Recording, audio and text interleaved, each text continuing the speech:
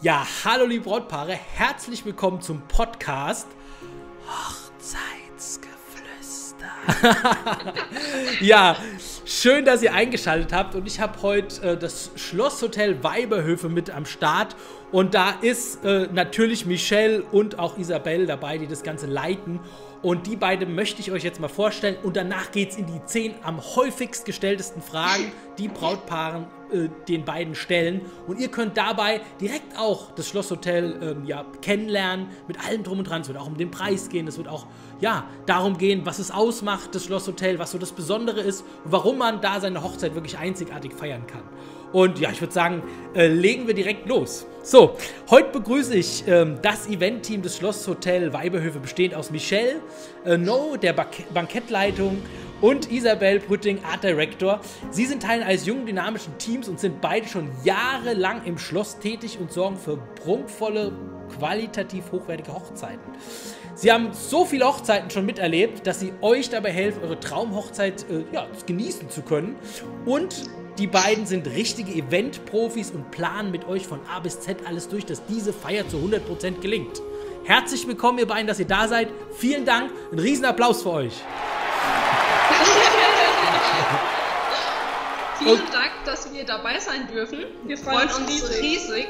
Ja, was ist denn so das Alleinstellungsmerkmal vom Schlosshotel der Weiberhöfe? Ja, also wie der Name schon Programm ist, also wir sind ein wunderschönes Schloss. Das Schöne, wir sind wirklich in Stadtnähe, direkt an der A3 gelegen, sprich man kommt von Aschaffenburg oder auch von Frankfurt direkt an uns hin, sprich in ein Kilometer äh, von der Autobahnabfahrt sind wir schon da. Das Schöne aber, dass wir richtig in der Natur gelegen sind, sprich wir sind zwar mhm. an der Stadt, mhm. aber trotzdem noch richtig schön in der Ruhe und bei uns ist eigentlich alles möglich, von standesamtlichen Trauungen bis über ähm, kirchliche Trauungen in unserer Kapelle oder freie Trauungen in unserem schönen großen Schlossgarten bis hin zur abschließenden Feier ist bei uns natürlich alles ja. möglich. Und ähm, wir haben auch immer eine Schlechtwetteralternative parat, dadurch, dass wir so viele Räumlichkeiten haben. Und das ist natürlich auch ähm, sehr, sehr wichtig. Ja, Wow. Gibt nichts mehr hinzuzufügen. Ja. ja. Toll, ja, klingt sehr, sehr gut. Und welche Möglichkeiten gibt es denn so in Bezug auf das Essen, Buffet bei euch? Wie, kann, wie gestaltet sich das so bei euch? Also das beginnt eigentlich vom Empfang. Also wir können hier mhm. Fingerfood, ähm, Kuchen können wir auch backen. Ähm, bis hin zum Abendessen ist bei uns auch Menü und Buffet, Buffet möglich. Kommt natürlich auf die Räumlichkeit auch an, aber zum Beispiel in unserer großen Scheune haben wir direkt eine Küche angeschlossen, heißt, wir können auch ein leckeres Menü direkt servieren, ohne dass es kalt wird oder wir sehr weite Wege haben. Und ja, kommt immer auf die Personenzahl drauf an. Wir mhm. sagen immer so bis maximal 80 Personen geht Buffet, weil sonst aus Platzgründen einfach ähm, eng wird. Mhm. Ja, klar. Ja. Mhm, okay. Und ähm, jetzt gibt es ja viele Brautpaare, die vielleicht sich auch so ein bisschen ja, dekorationstechnisch äh, verewigen wollen und die wollen schon früh genug aufbauen. Und ist das, ab wann ist das so möglich? Oder ab wann kann es auch wieder abgebaut werden? Ist man da entspannt? Läuft es entspannt bei euch ab? Genau, also bei uns ähm, aufgebaut kann werden theoretisch immer am Vorabend, wenn mhm. man zu 100 Prozent schon morgens oder mittags starten möchte, dann muss man den Raum quasi schon einen Tag vorher mieten, dass man ganz entspannt aufbauen kann. Ansonsten ist es in der Regel immer abends möglich. Genau. Und mit dem Abbau, mhm. ähm, da sind wir sehr entspannt, sage ich mal. ähm, viele Hochzeiten finden ja gerade am Wochenende statt, Freitag, Samstag. Ähm, mhm. Gerade wenn man samstags jetzt ähm, ja, die Party hat, kann man ganz entspannt noch am Sonntag in aller Ruhe abbauen. Also da sind wir sehr flexibel. Genau. Sehr gut, sehr gut. Und jetzt ist ja auch das Thema freie Trauung immer für viele ein Thema. Ähm, habt ihr da äh, ja, eine Möglichkeit äh, zu unterstützen und ist das, ja, geht es generell bei euch? Mhm. Genau, also wir können unsere freie Trauung ja im Park gestalten. Wir haben einen super schönen äh, Pavillon hinten stehen. Das war früher mal ein Teehaus, mhm. wo äh, die Adeligen eben ihren Tee eingenommen haben. Und äh, wir stellen einen wunderschönen Traualtar zur Verfügung und haben äh, tolle weiße Gartenstühle, die wir natürlich auch zur Verfügung stellen. Mhm. Und sollten es doch mal mehr als 100 Personen ähm, sein, können wir auch noch mit Bierbänken, mit schönen ähm, Garnituren und Stu äh, also Hussen darüber ja. noch zur Verfügung stellen. Mhm. Und das Schöne ist, ähm, dass wir hinten im Park, wo die Trauung stattfindet, selbst nachmittags und es hat 37 Grad, haben wir da immer Schatten. Sprich, man sitzt nicht in der Sonne. Cool. Das, genau, das, das ist auch total wichtig, finde ich, gerade auch für die älteren Gäste.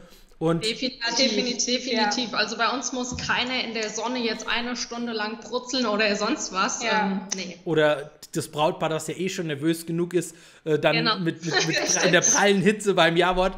Total cool. Und das finde ich auch immer schön, ähm, dass dann auch an den Räumlichkeiten, zu denen wir auch noch gleich zu sprechen kommen, da ist es ja, ja. auch immer schön gekühlt eigentlich, ne? durch, die, durch die dicken Steinwände. Also so genau. mein Eindruck, genau. Das, was im Sommer natürlich cool ist, ja. Aber kommen wir zuerst vielleicht noch mal zum Thema, was kostet denn so eine Hochzeit bei euch? Ähm, ja, also wir haben natürlich sehr viele verschiedene Räumlichkeiten. Mhm. Ähm, die Raummiete ist da ja ähm, sehr individuell, sage ich mal. Ähm, Von bis? Genau, jeder, jeder, Raum kostet was anderes. Wir haben keine Saisonpreise mhm. oder ähm, okay. sonstiges, sondern bei uns kostet es immer das Gleiche. Mhm. Ähm, genau, ansonsten bei der Raummiete ist bei uns, wenn man Raummiete bezahlt, was ja ganz klar ist, ähm, sind bei uns immer schon die Tische, die Stühle mhm. sind inklusive, die Hosen sind schon dabei, ähm, die, die, Stoffserviette ist dabei und das Gedeck an sich ist dabei. Also der Platz wird dann schön festlich eingedeckt mit ähm, ganz klassisch äh, Gabelmesser, was alles dazugehört, Weingläser natürlich, Wassergläser. Das ist bei uns immer schon inkludiert. Genau. Okay, toll. Und gibt so, ab, ab wo geht's los bei der Raummiete? So ganz grob im kleinsten Raum, dass man einfach mal so einen Eindruck bekommt? Gut, der kleinste Raum mhm. ist unser Raum Epstein. Den mhm. gibt es zum Beispiel für standesamtliche Trauungen. Ähm, den gibt es schon ab 350 Euro. Mhm. Ähm, ich sage jetzt mal bis Open End, je nachdem, ähm, wie viel denn benötigt wird. Ähm, ja. Super. Ist mhm. ganz individuell auf unsere Gäste abgestimmt. Klar, das genau kommt ja auch wirklich immer drauf an. Und habt ihr so Komplettpakete, wo man sagt, da geht man jetzt, ähm, da, also da habt ihr was, wo, wo alles so mit drin ist, wo, man, wo ein Brautpaar sich auch um gar nichts mehr Gedanken machen muss. So völligst hin, feiern und alles ist super. Gibt sowas? Mhm. Ja, klar, also wir haben eine Getränkepauschale, da sind dann quasi die ganzen Getränke abgedeckt, mhm. ein Weißwein, ein Roséwein, ein Rotwein, ähm, Softgetränke, Wasser natürlich, ähm, Bier ist dabei, Aha. Also Fassbier, Hefeweizen ist dabei, also getränketechnisch alles abgedeckt, inklusive einer Schnapsrunde noch. Dann haben wir noch eine, eine All-Inclusive-Pauschale, die kostet pro Person 99 Euro. Da ist dann äh, quasi das Abendessen dabei, wahlweise als Buffet oder als Menü. Mhm. Ähm, der Mitternachtssnack ist schon inkludiert und die Getränke sind dann genauso wie bei der Getränkepauschale auch schon dabei. Also auch wie der Weißwein, Roséwein, Rotwein, jeweils einen ähm, Wasser, Softgetränke wie Cola, Fanta, sowas die Richtung. Genau, das ist dann auch schon alles dabei. Ja. Genau. Cool. Und es ist ja so, kann ich mir das so vorstellen, dass ähm, jetzt, wenn ein Brautpaar kommt, dass wirklich ihr beide auch so die Abläufe mit denen komplett durchgeht, also praktisch die Arbeit auch wie von so einer Wedding-Plannerin schon übernehmt? So gut wie, mhm. genau. Also der Erstkontakt ist wirklich immer mit uns. Äh, wir planen Super. von A bis Z mit den Brautpaaren alles durch. Ähm, wir können auch Dienstleister empfehlen. Wir haben eine ganz, ganz lange Dienstleisterliste. Zum Beispiel dich. Genau. Ja. Du stehst da auch mit drauf. Ähm, einfach mit äh, Leuten, die eben auch schon hier waren, die unser Gelände kennen und, ähm, mhm. und wir machen eben auch die ganzen Abläufe. Wir treffen uns auch. Das ist dann immer so ein Gespräch von ein bis eineinhalb Stunden, wo dann wirklich der ganze Ablauf besprochen wird. Wir stellen einen Ablaufplan zusammen, der wird auch nochmal finalisiert bis zum Ende hin. Und ja. wir sind auch am Tag der Hochzeit da genau. und schauen, cool. dass alles glatt läuft. Super. Super. Ja, weil das macht ja auch nochmal viel aus, wenn, finde ich, wenn einer immer halt auch einfach auch nochmal drüber guckt und das bisschen plant vor Ort ist, dass halt wirklich alles abläuft. Ist ja nicht bei jeder Location so. Manchmal ist es ja auch dass man ja. das alles ja. selber auch machen muss. Genau, ja. toll. Und mh, hm, das habt ihr schon beantwortet. Dienstleister dürfen ja frei gewählt werden bei euch. Genau, da habt ihr keine Begrenzung oder, oder, oder, oder ein Verbot oder so, ne? Bis auf den Caterer. Ah, okay. Wir haben nämlich eine super leckere eigene Küche. Und die möchten wir natürlich ähm, sehr gerne präsentieren. Deswegen ähm, das ganze Kulinarische geht Gott sei Dank über uns. Bis auf die Hochzeitstorte. Mhm. Ähm, das finden wir ist eine Kunst für sich und ja. die, das lassen wir gerne den Spezialisten. Genau. Also ich habe ja bei euch letztes Jahr und die Jahre schon gespielt. Ähm, ja, ich kann jedem Brautpaar empfehlen, geht einfach mal so essen in den Weiberhöfen, dann wisst ihr genau, auf welchem Niveau ihr euch da befindet. Ähm, genau. Und dann ähm, weiß man genau, dass das äh, wirklich Oberklasse ist. Und genau. Schön. genau, jetzt so ein bisschen zur Party vielleicht auch. Ähm, habt ihr eine Lautstärkebegrenzung? Ist was, wo ihr sagt, also Moment, jetzt äh, 80 dB oder kann man bei euch richtig Party machen und feiern? Ja, also prinzipiell kann man bei uns natürlich erstmal richtig Party machen und richtig abfeiern. Ähm, ab 22 Uhr findet das Ganze dann natürlich hinter verschlossenen Türen statt, genau. weil wir natürlich noch ähm, andere Hotelgäste haben und die möchten ja. natürlich nicht gestört werden, aber das ist alles machbar. Das ist jetzt nicht, dass es nur noch auf äh, Zimmerlautstärke oder sonst was genau. ist in der großen Scheune. Das ist ähm, etwas seitlich gelegen, weiter weg von den Hotelzimmern, sage ich mal. Äh, da kann man natürlich trotzdem richtig Party machen. Ja, ganz genau. klar. Cool. Ja, also kann ich auch bestätigen, ähm, weil bei mir ist ja so als DJ, äh, ich komme ja, um wirklich Stimmung zu machen, um da was zu reißen okay. mit den Leuten. Und wenn ähm, wenn es auch die Location nicht zu mir passt, wenn die sagen, hey, es muss zu leise sein, komme ich nicht. Also, das war über, also ja, ja, man kann gut Party machen bei euch, das reicht und das ist absolut, also meine Erfahrung vielleicht einfach. Genau. Jetzt ist es ja auch schön, ähm, die Gäste, die Party ist rum, irgendwie alle müde und dann können die ja bei euch auch übernachten im Hotel. Und genau wie viele Gäste äh, können da übernachten? Genau. Also wir haben insgesamt 40 Zimmer. Mhm. Also darunter ähm, acht Einzelzimmer, 26 Doppelzimmer, vier Junior-Suiten und zwei Suiten. Es ist eigentlich für jeden immer was dabei. Bisher hat es auch immer ausgereicht. Ähm, mhm. zu aller Not haben wir ja auch noch Hotels in der Nähe, mit denen wir auch kooperieren. Und äh, wir haben auch sehr viel Platz auch für Familien. Unsere Junior-Suiten haben zum Beispiel Ausziehcouch, ähm, wo zwei Kinder drauf schlafen können. Wir haben auch noch Zustellbetten. Mhm. Für die Brautpaare äh, machen wir auch einen kostenfreien Early Check-in, ähm, mhm. sprich, sie können vorher in das Zimmer rein, um sich auch bei uns fertig zu machen. Das gehört für uns mit dazu. Genau. Cool. Und dann habt ihr auch immer regelmäßig äh, geplant, auch Hochzeitsmessen, glaube ich, wo man mal äh, wirklich die, die Weiberhöfe kennenlernen kann mit allen Sälen und auch mit Dienstleistern. Da kommt auch immer mal wieder was.